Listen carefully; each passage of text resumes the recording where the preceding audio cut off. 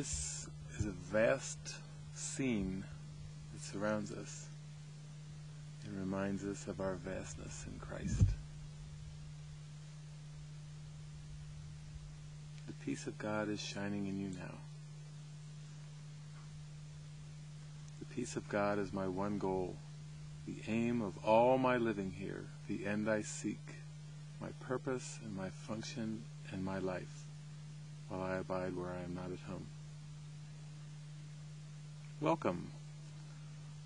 We will be descending this beautiful canyon today and looking at some ideas that God has given us in this joyous awakening. What we'd like to do is just remember the stillness, the joy, the love, the peace is our natural state. Our source is far beyond this world. But we do get reflections of this source even here. And in searching and striving for many things in this world, finally it seems we come down to one thing. And that's simply learning to forgive illusions and remember the truth. So today we're going to descend down this beautiful canyon and explore some ideas, the meaning of forgiveness, the meaning of the atonement, the approach to the oneness and unity and eternity that we are as spirit and learn to let go of all of the illusions, the concepts, the images, the idols that stand in the way of our true remembering. I'm glad you can join us. It doesn't matter what your background is, what religion, what socioeconomic background, what ethnic background that you may seem to have had. It doesn't matter what culture you come from. Truth is one, and it's very joyful. And today we're going to be exploring, removing the blocks to the awareness of that truth. So come join us.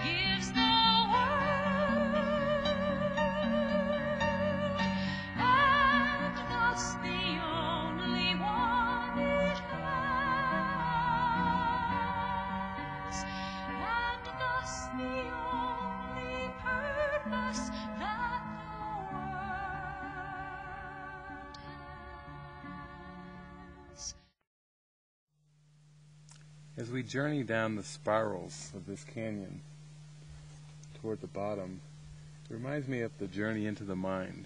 You really need to spiral down into the thoughts and the beliefs and the desires that lie underneath the surface. The journey to God is really removing all of the concepts and beliefs that stand in the way of remembrance of God. So we begin the journey by going down and questioning who we think we are. We look at our concepts of ourselves as we perceive ourselves in this world. We seem to be people, we seem to have families, occupations, status, positions in the world. And as we begin to uncover these beliefs, desiring the peace of God above all else, these beliefs begin to fall away. They begin to become unveiled and raised to the light of truth. And there they dissolve. We go down, down, down. All of our beliefs are based in time and space, as if we have left the kingdom of heaven and are somehow occupying a position in the cosmos. As the meditation experiences deepen, as the miracles increase and grow, our consciousness expands and becomes inclusive of everything that we perceive. Every sound, every sight becomes a part of who we are. And our perception becomes whole in the sense of it's all inclusive. We don't see anything, anybody, any particular apart from our mind. So as we continue this descent down this beautiful canyon, we ponder that idea of bringing the false, of bringing the illusions to the light of truth, of questioning who we are, and opening our mind to an experience that is beyond this world, an experience that comes from our source, from God.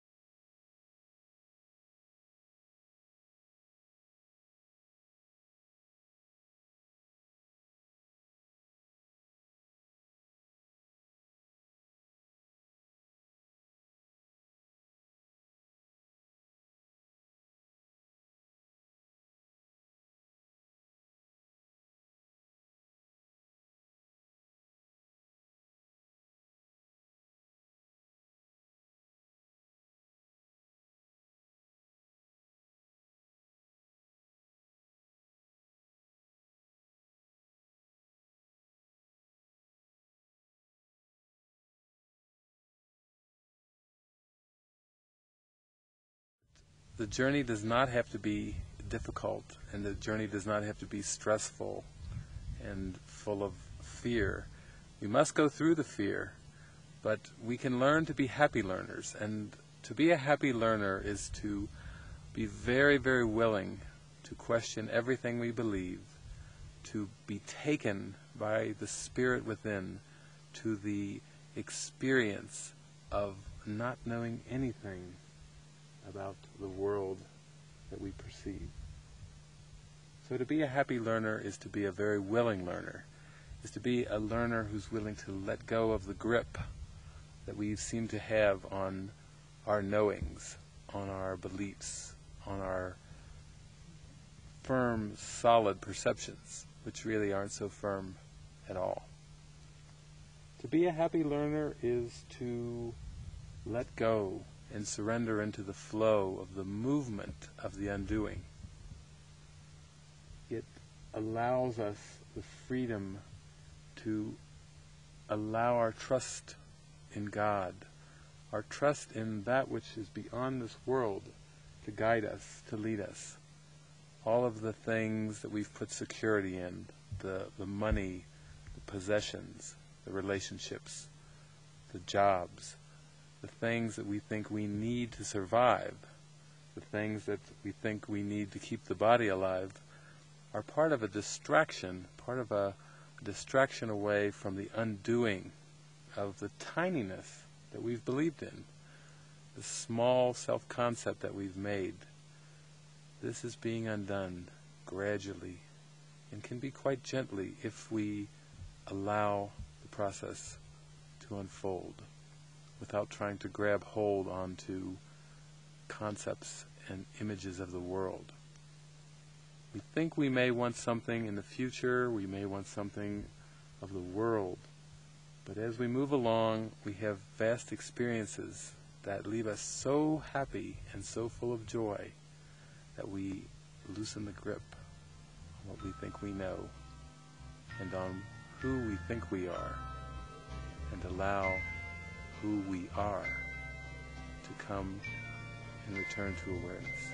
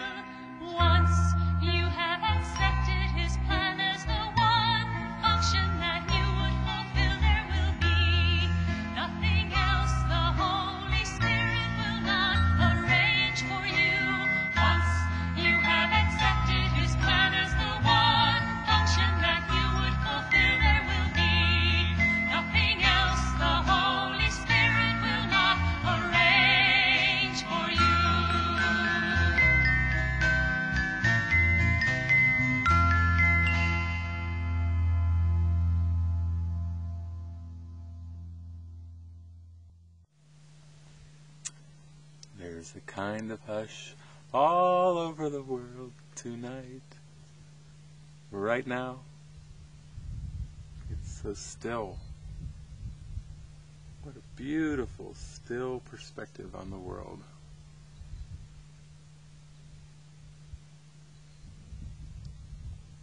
Forgiveness is the way beyond perception.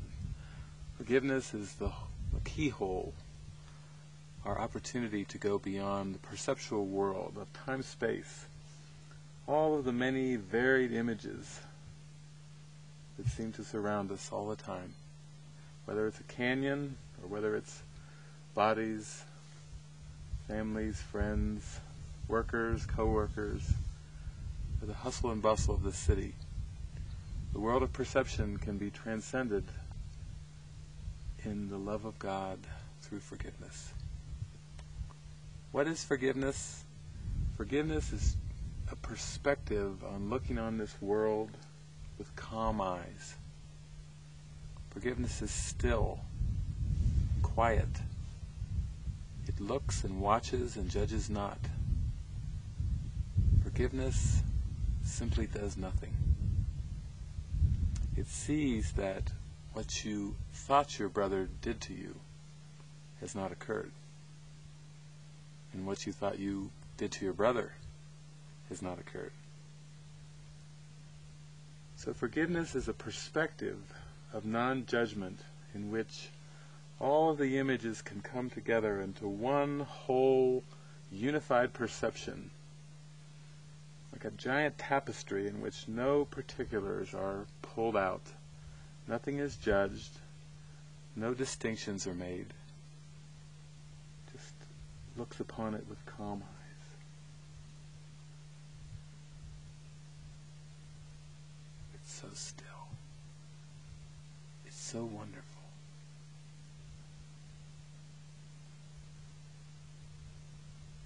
Forgiveness undoes the world and leaves an instant, a sparkling instant, before perception disappears entirely and the love of God is remembered. Our descent down into the canyon is really unveiling all of the beliefs and all of the concepts and thoughts that obstruct the awareness of the light within each of us. And as we move down today, we're going to move down towards an experience of vastness and awakening. And we're going to talk a little bit about the final decision needs to be made. Accepting the atonement, accepting the correction for every misthought, for every misperception, awakening from this stream.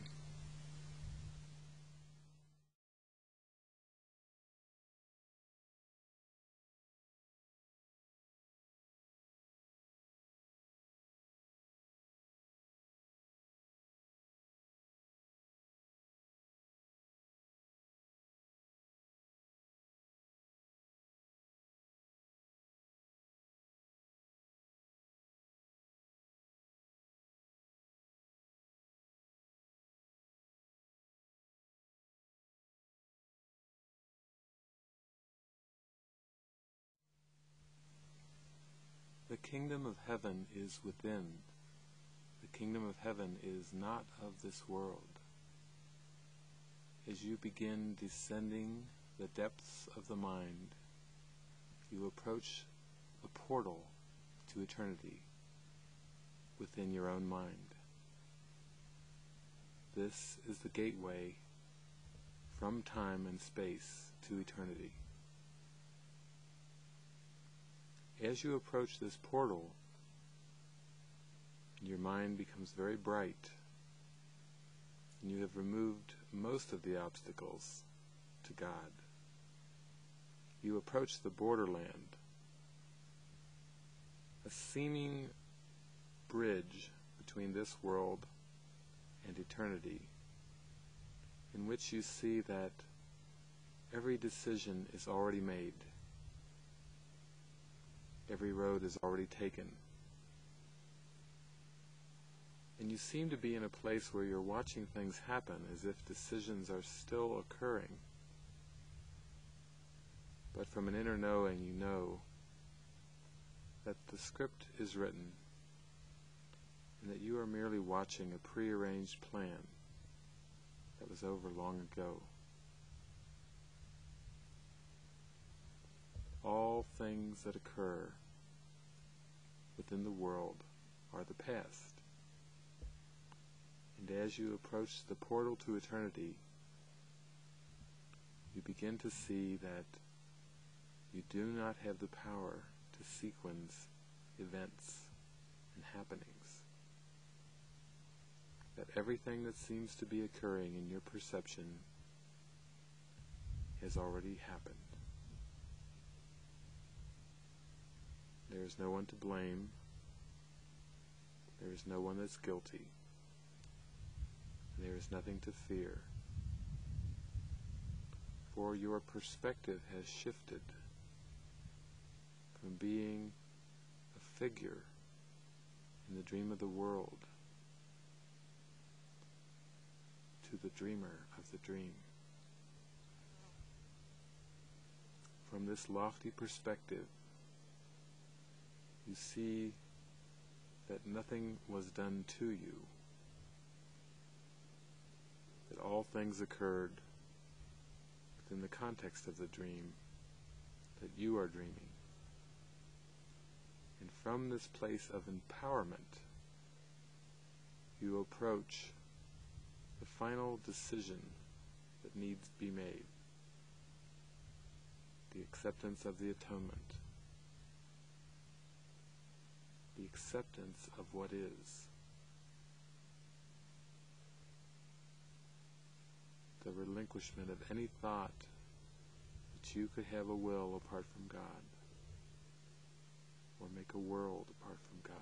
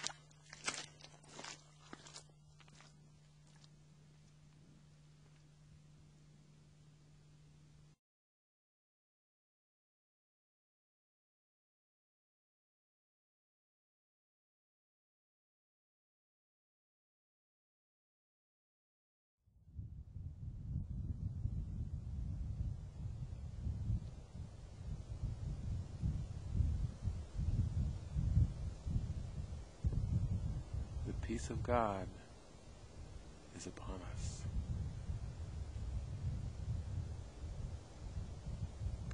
Reaching the bottom of the canyon is symbolic of reaching the bottom of your mind, reaching that point where all else is laid aside.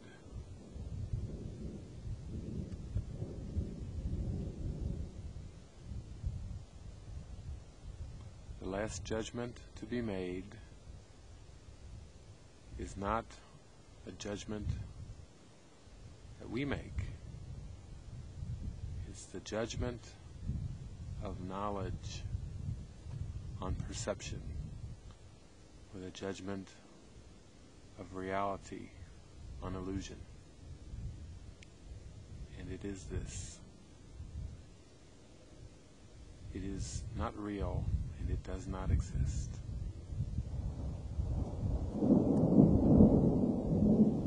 The might and glory of God descends on us. And the Holy Spirit gives us the last judgment as it circles round this entire perceptual world in joyous gratitude. Holy are you, eternal, free, and whole, at peace forever in the heart of God. Where is the world, and where is sorrow now?